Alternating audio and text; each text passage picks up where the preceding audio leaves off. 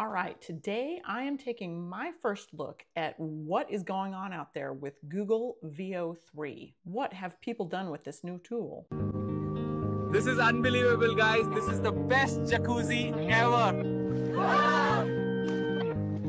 Okay, so Veo 3 is the new video generation tool from Google. This is the first tool to seamlessly generate audio, background sounds, and music along with your video prompt. That's pretty impressive. I have not gotten a chance to play with the tool for myself, so I am very curious to see what people are doing with it. Jerrod Lew has put together this demonstration of multiple character voices and a lot of good background sounds and music.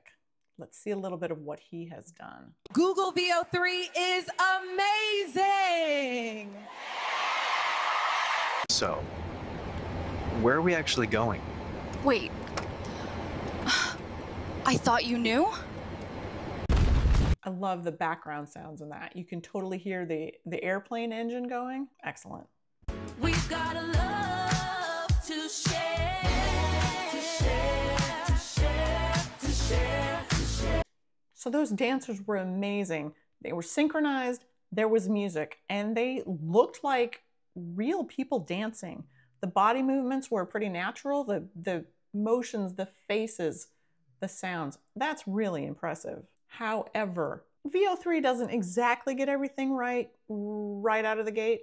So, what brings you to this event? I don't know. I'm simulated by Google. So that little part where he kind of speaks under his breath just a little bit, I don't think that was intentional. I think that was a glitch. And so this subtitling, I have heard reports now that sometimes completely unprompted, the video that Veo 3 generates will just add subtitling, but incorrect subtitling.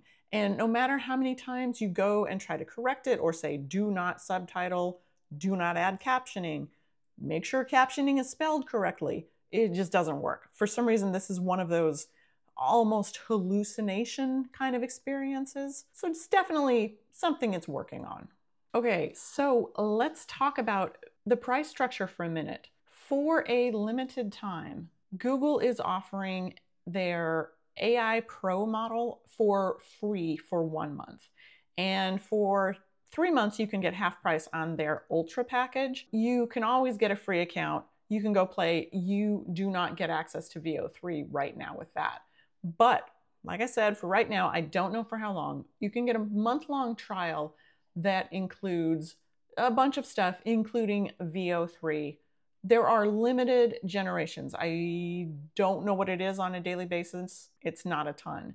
You also get to use Flow, which as far as I can tell, is kind of the editor for Veo 3. If you do want to do the super upgrade, you get uh, quite a few more credits for Veo 3.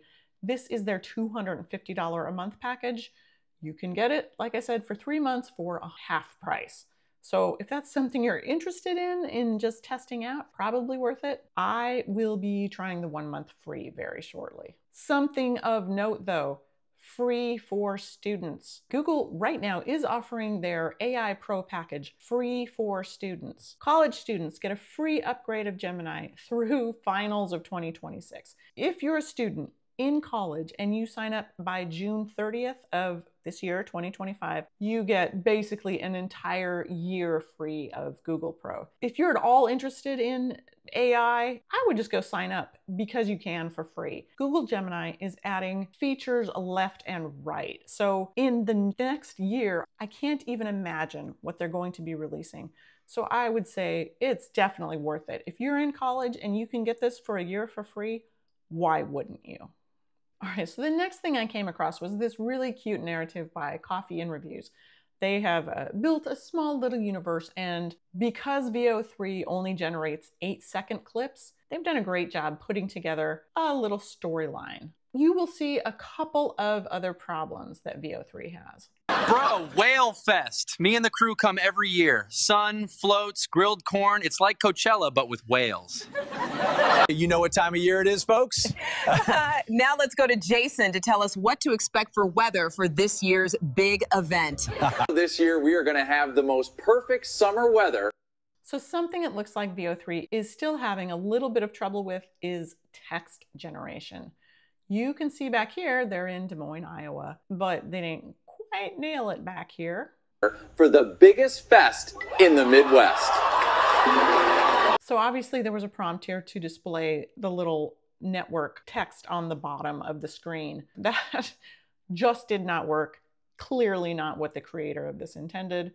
Probably the best they could get Veo 3 to generate. But it's Des Moines, not D.E. Moines. Same thing here on the tattoo. Not quite right. Whoa, chill, dude. I'm just here for Whale Fest. I came all the way from Australia to see the famous Iowa whales. Whoo! Excellent. I am so excited for Whale Fest this year. Me too. I heard there are so many cute guys there.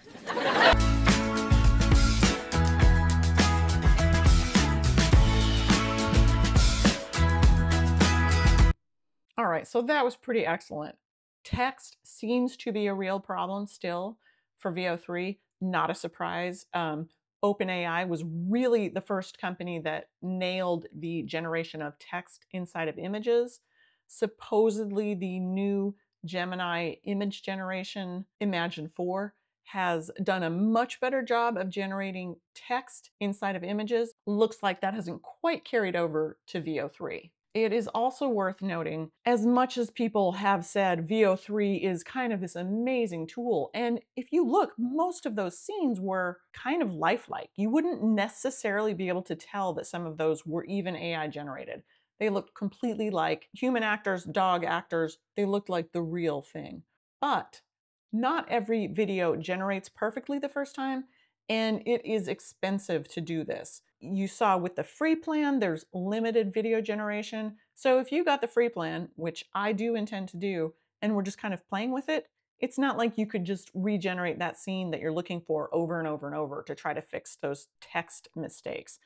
It is expensive. Even if you have the upgraded plan, I don't imagine you get unlimited generations. I think you, at a certain point, would say, I'm good where I am. I don't want to spend unlimited money on my vision. So even though it, it's not perfect, there is a lot of room for creativity. And I just, I loved the framing device that AI Video School used for this video that we're about to watch. It's a robot channel surfing. So we just get to see a bunch of mini clips of what Veo 3 can do. Tonight's big story is about how Veo 3 can generate video with dialogue just from text prompts. Let's do an experiment and pretend we're channel surfing through random television stations. This will give us some variety to see what's possible with Veo 3. Sunday night on the savannah. The lion feels sad knowing it has to work on Monday morning.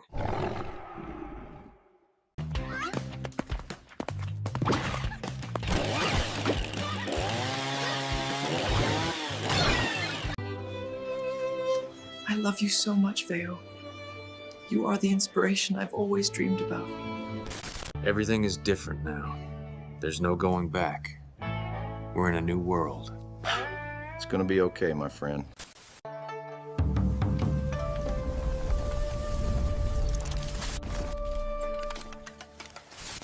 Once we're done mixing, we reach in and it's done. No baking necessary. Right, so I love the temple shrine that pops up behind the monk. I just think that's really well done. And uh, the cake, the baking show where the cake comes kind of fully formed out of the bowl, you can see that's not quite perfect, still really fun and really well done. You definitely saw quite a few instances there of that sort of closed captioning or the you know the subtitling that was just garbled characters.